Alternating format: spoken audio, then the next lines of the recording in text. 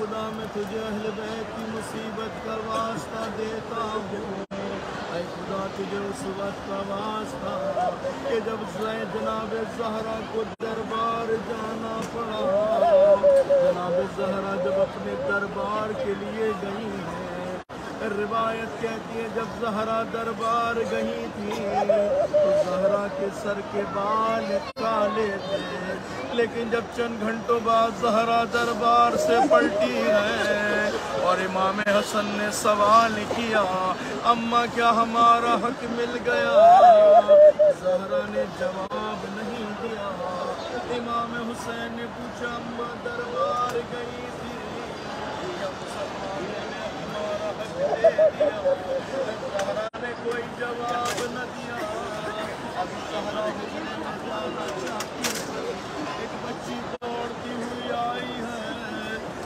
ماں کے سینے سے لپٹ کر ایک جملہ کہتی ہے اماں یہ تیرا کیا حال ہو گیا؟ اماں یہ تیرے سر کے بال کیسے سفید ہو گئے؟ جناب زہرا نے جناب زینب کو سینے سے لگایا اور فریاد کرنے لگی۔ زہرا نے اتنا گریا کیا کہ جناب زینب کہتی، اماں روتی کیوں ہو؟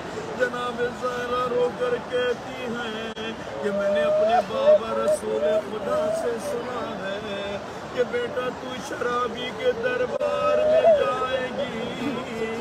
بس یہ سوچ کر رو رہی ہوں۔ میں مصحابیوں کے دربار میں گئی تھی۔ تو بیٹا میرا یہ حال ہو گیا۔ لیکن جب تو شرابی کے دربار میں جائے گی، تو زینب تیرا کیا حال ہوگا؟ اسی لیے جب کسی نے امام سجاد سے پوچھا کہ مولا سب سے زیادہ مصیبت کا پڑی؟ امام رو کر کہتے تھے اشام اشام اے شام کی مصیبت نے جناب سید سجاد کو بوڑھا کر دیا۔ اے خدا، تجھے زینب زینب کی غربت کا واسطہ۔ جب یہ قافلہ شام کے بازار پر پہنچا ہے، جو حضرات بازار گئے ہیں، وہ جانتے ہیں بازار سے دربار کا سفر کتنی دیر کا ہے۔ لیکن بازار پہ زہرا کی بیٹیوں کو روک دیا گیا۔ کہ ابھی بازار سج رہا ہے، ابھی بازار تیار ہو رہا ہے۔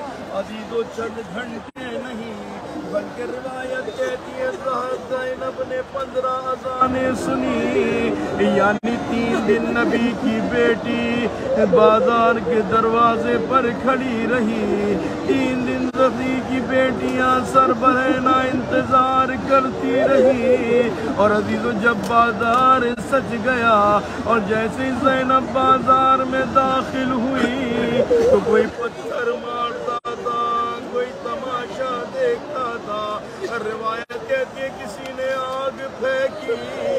اس عالم میں زینب دربار میں گئی ہے، کہ شرابیوں کا دربار ہے اور رسول کی بیٹی موجود ہے اے خدا تجھے زینب کی اس مصیبت کا واسطہ۔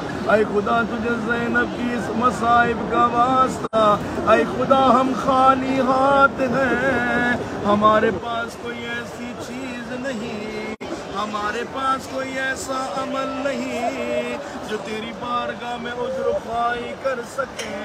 لیکن اے خدا، ہمارے پاس یہ آنسو ہے جو اہل بیت کی محبت میں جاری ہے۔ اے خدا تجھے اہل بیت کی مصیبت کا واسطہ، آج کی شب ہمارے خطاؤں کو بخش دے۔ پروردگار، آزاداری سید الشہداء کی حفاظت فرما۔ آزاداران سید الشہداء کی حفاظت فرما۔ پاکستان میں پروردگار تشیع و خلاف جو سازشیں ہو رہی ہیں، بالخصوص جو بل پیش کیا گیا، پروردگار ہے پیش کرنے والوں کو ناکام